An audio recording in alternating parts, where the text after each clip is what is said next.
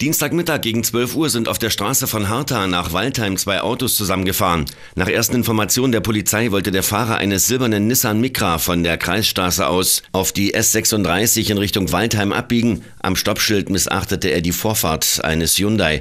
Durch die Kollision wurde der Nissan in den Straßengraben geschleudert. Beide Fahrer sowie zwei weitere Insassen wurden verletzt und in ein nahegelegenes Krankenhaus gebracht. An beiden Autos entstand Totalschaden. Sie mussten abgeschleppt werden. Zur Höhe des Sachschadens liegen noch keine Angaben vor.